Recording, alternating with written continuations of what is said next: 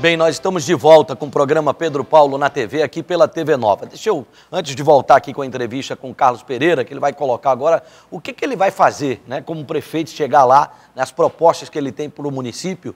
Né? É, deixa eu fazer o registro aqui, nós estamos recebendo é, a edição da revista Movimento, a edição número 16 da revista Movimento, né, é, com uma matéria muito bacana aqui, falando sobre a TV Nova, né, falando dos programas, falando da trajetória, falando dos comunicadores da TV Nova, do Samir Abuana, do J. Ferreira. Está né, tá muito bacana essa revista. Ela tem circulação estadual, está em todo o estado de Pernambuco, mostra né, é, exatamente os cases de sucesso né? É, falando aqui do Cabo de Santo Agostinho, né? É, é, do trabalho, do trabalho é, da Associação Comercial de Pernambuco, né? É, diversas matérias da Frente Parlamentar de Comunicação, encerramento aqui da Frente Parlamentar de Comunicação, né? uma, uma, uma, revista muito bem feita, muito bem organizada, colorida em todas as páginas, fala do São João de Caruaru, né? do trabalho do governador Eduardo Campos. Né? É, quero parabenizar aqui é, aos editores, né? todo o pessoal da revista Movimento, a Tassiana Carvalho, que fez a matéria, matéria muito bem escrita, né, falando aqui da, é, da, da, programação da, da TV Nova, né, e é um reconhecimento que serve de estímulo para que a gente continue cada vez mais interiorizando né, e regionalizando a nossa programação.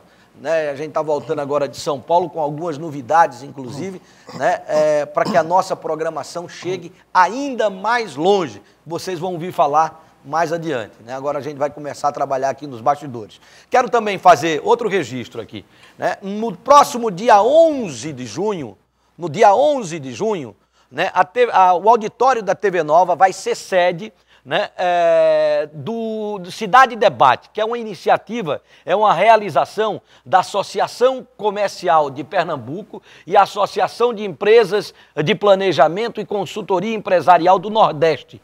Né, um ciclo de debate com pré-candidatos das principais prefeituras da região metropolitana do Recife, reunido para discutir as suas propostas com uma sociedade e apresentar soluções para su, para a sua cidade. Tivemos o primeiro debate que aconteceu em Jaboatão dos Guararapes collapse nós estivemos lá presente, inclusive. Agora chega a vez eh, de Olinda. Então, uh, vai acontecer no próximo dia 11 às 19h30, aqui no auditório da TV Nova Nordeste. É entrada franca, quem quiser participar, quem quiser acompanhar é, esse debate, pode vir para cá. Né, uma iniciativa aí da Associação Comercial de Pernambuco. Nós estamos juntos. Tem o pessoal também aí da uh, Fórum Consultoria, a Via Certa, da Gilson Cedrim, BPM. São empresas que apoiam esse esse, esse tema. Vai falar sobre temas de mobilidade, meio ambiente, desenvolvimento econômico, habitação, educação, segurança, saúde, turismo, tudo isso vai ser discutido aqui na Cidade Debate, uma iniciativa da Associação Comercial de Pernambuco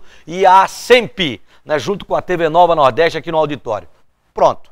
Já só deu tempo dos avisos. Vamos primeiro para as propostas aqui do, do nosso Carlos Pereira. O que, que você faz de diferente, vai fazer diferente se chegar lá frente, na prefeitura? Primeiro, Pedro, eu quero dizer que nós iremos dar continuidade a um plano de governo que foi traçado no passado e não foi executado por esse governo. Né? Nós prometemos, quando eu falo nós prometemos, porque eu fiz parte do palanque dele. Eu também prometi. E quando eu me afastei, eu pedi desculpa ao povo de Tapissuma por ter pedido, é, pedido ao povo que votasse nele, acreditando que ele ia fazer e não fez. Como, por exemplo, lá no plano de governo, o povo pode observar que ele disse que ia fazer uma associação dos ostreiros. Iria ter ônibus, fardamento para levar os ostreiros para a praia. Disse que ia construir uma creche em Mangabeira, ia construir uma, uma creche na Várzea. E não foi feito. Nós iremos fazer, para, principalmente nos finais de semana, para que as nossas mães ostreiras que possam ir à praia, que vive da pesca, do pescado, que vive da, da praia, na verdade, possam ir final de semana trabalhar e deixar seus filhos numa creche digna. Nós hoje só temos uma creche lá, superlotada, com pouca estrutura. Nós iremos fazer.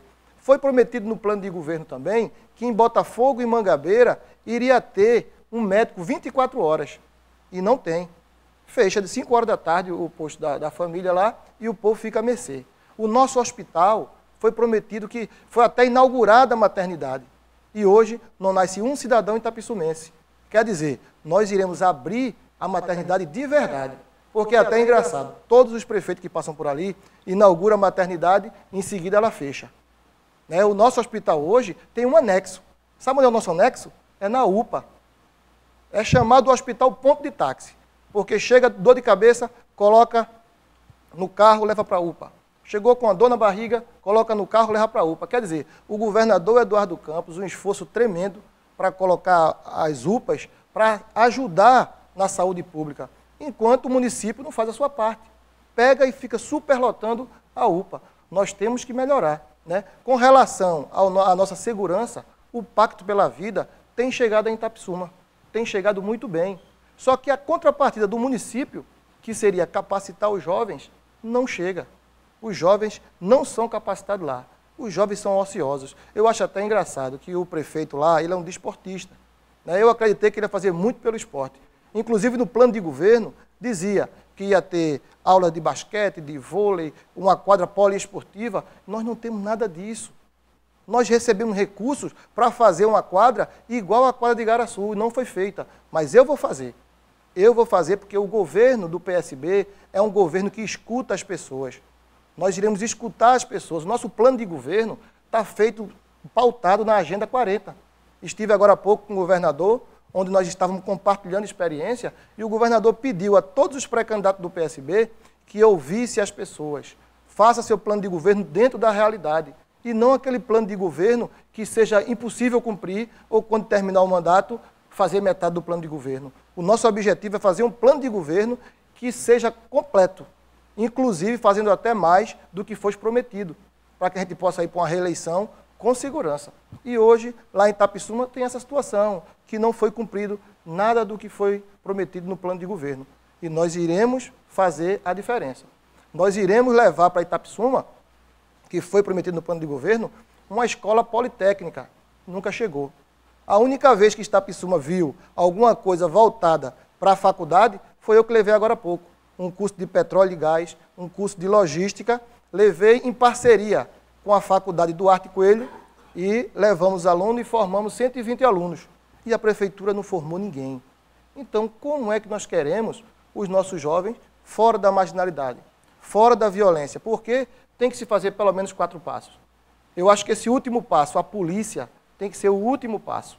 O nosso primeiro passo é cuidar dos nossos jovens, capacitar os nossos jovens. O segundo passo é fazer uma casa de reabilitação para que trate os drogados como doente.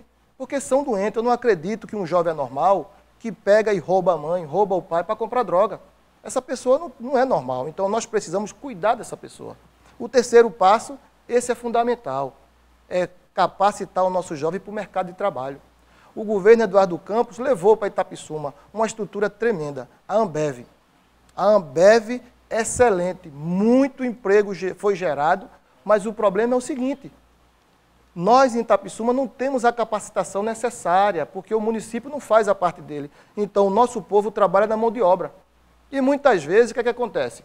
Vai trabalhar lá, passa três meses, terminou o galpão, é demitido. E na carteira do cidadão de Itapissuma, fica registrado três meses. Aí eu te pergunto, Pedro Paulo, daqui a um ano ou dois, quando esse rapaz for procurar emprego numa empresa privada, em outra empresa privada, Lá vai ver a carteira dele com três meses na, na, carteira. Vai achar que ele foi um péssimo funcionário, onde na verdade não é. É um contrato de três meses e o cara vai embora. Então nós não queremos isso. Nós queremos os empregos melhores da Ambev para Itapsuma. Né? E nós iremos fazer isso. Por quê? Está chegando a Fiat. Aí eu te pergunto, daqui a dois anos a Fiat vai estar com todo o gás. O que é que está sendo feito hoje para os nossos jovens? Para qualificar o nosso jovem. Então, essa é a nossa preocupação. Uhum. Nós queremos cuidar do nosso jovem porque é o futuro de Itapsuma. Muito bem, eu vou passar a palavra aqui para o Carlos para ele fazer o fechamento, né? Esse minutinho que falta para a gente encerrar. Mas antes, deixa eu fazer o registro aqui do nosso patrocinador do horário, empresa que nos ajuda a tocar a maior programação local de Pernambuco, a programação da TV Nova Nordeste. Produtos de limpeza igual, produtos de primeira qualidade, veja por quê.